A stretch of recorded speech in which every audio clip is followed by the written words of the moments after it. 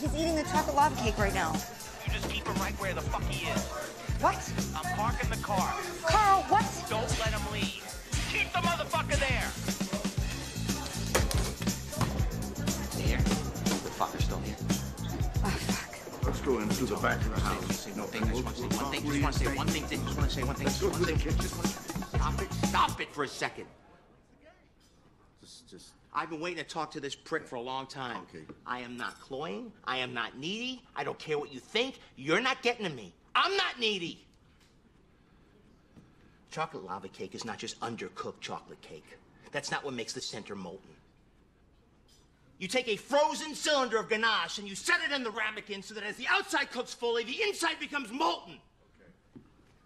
Okay. Okay. It's fucking molten. See? It's fucking molten, you asshole. And you don't do anything. What do you do? You sit and you eat and you vomit those words back? To make people laugh. You know how hard I work for this shit? Do you know how my whole staff works?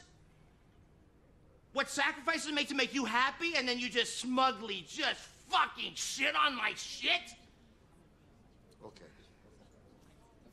It hurts! Yes. It fucking hurts when you write that shit. It hurt you. It does. It does.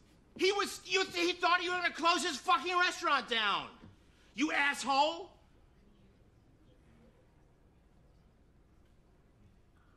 And what do you do? You just write shit to make. You just make shit up. My shit was molten.